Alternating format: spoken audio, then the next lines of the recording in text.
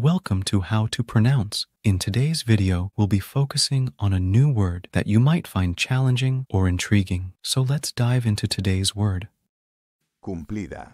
which means fulfilled, completed, or carried out, often in reference to a task. let's say it all together. Cumplida. Cumplida. Cumplida. One more time. Cumplida.